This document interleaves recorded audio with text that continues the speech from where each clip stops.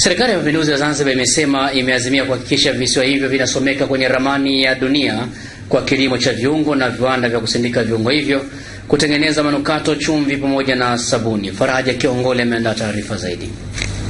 Waziri wa Biashara, Viwanda na Masoko wa Zanzibar, Balozi Amina Salumu Ali ameyasema hayo kwenye mkutano na uongozi wa juu wa benki ya CRDB ambao lengo lake ni kuelezea fursa za kiuchumi zinazopatikana visiwani Zanzibar pamoja na mipango ya Serikali ya Mapinduzi Zanzibar ya kujenga viwanda ili kuiwezesha benki hiyo kuona namna ya kushirikiana katika kufanikisha mipango hiyo.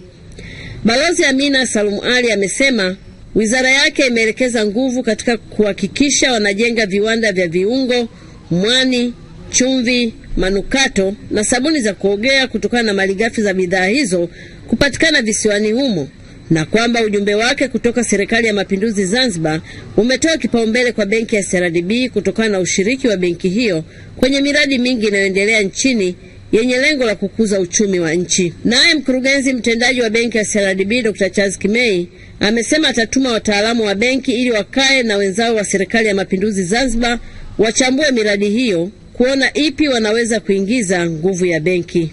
Na isolation kwa sababu unapozungumzia industrialization kuna vitu vingi ambavyo vinasababisha hiyo itokee.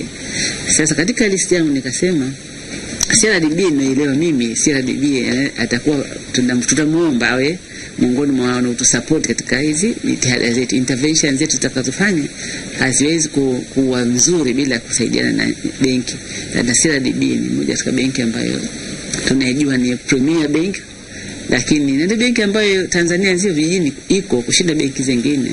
Ukiimagine kwa miaka hii ishirini timu ile imefanya imejihusisha sana na, na, na, na, na sekta ya hata si widi tumewahi kufinance Zanzibar. Kwa hiyo tunao uzoefu wa kutosha.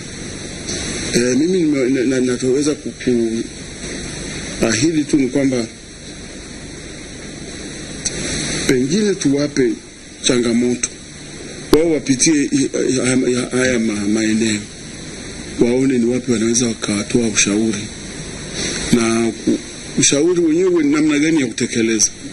Pamoja na Zanzibar kuwa kisiwa kinachotambulika kwa ukulima wa viungo, kisiwa hicho hivi sasa kipo nafasi ya juu katika uzalishaji na uuzaji wa zao la mwani duniani. Mimi ni Faraja Kiongole, Channel 10, Dar es Salaam.